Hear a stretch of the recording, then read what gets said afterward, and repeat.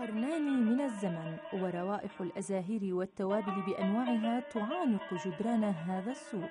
قرنان جال الناس خلالهما بين زوايا وأزقة هذا المكان بحثا عما حملته قوافل الهند من جديد وما أبدعته أيادي السوريين من خلطات ووصفات.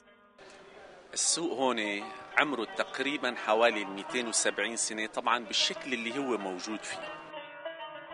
سوق البزورية بدمشق أو سوق العطارين كما كان يسمى قديما. يتوسط أسوار دمشق القديمة ممتدا من سوق مدحت باشا وحتى قصر العظم. وأساس التسمية البازورية وليس البزورية البازورات هي باللغة العربية القديمة هي اللي مسميها حاليا القلوبات المكسرات.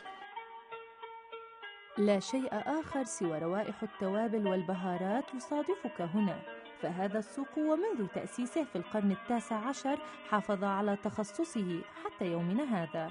يعني يعني بيجوا ناس من من أوروبا بيسوقوا البزوريه دكاكين وزوايا صغيرة متراصة قد لا تتسع لأكثر من أصحابها في كثير من الأحيان.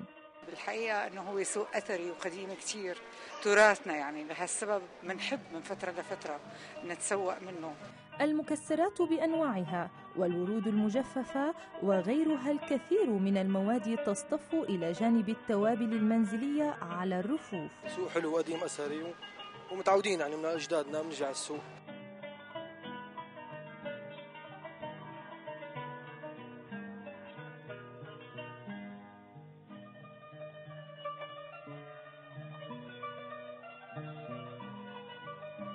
سيبقى سوق البزورية بما يختزنه من جمالية المكان وتنوع البضائع قبلة للسوريين وغيرهم من السياح العرب والأجانب.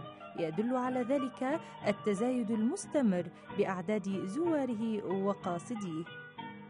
داي بريس تي في.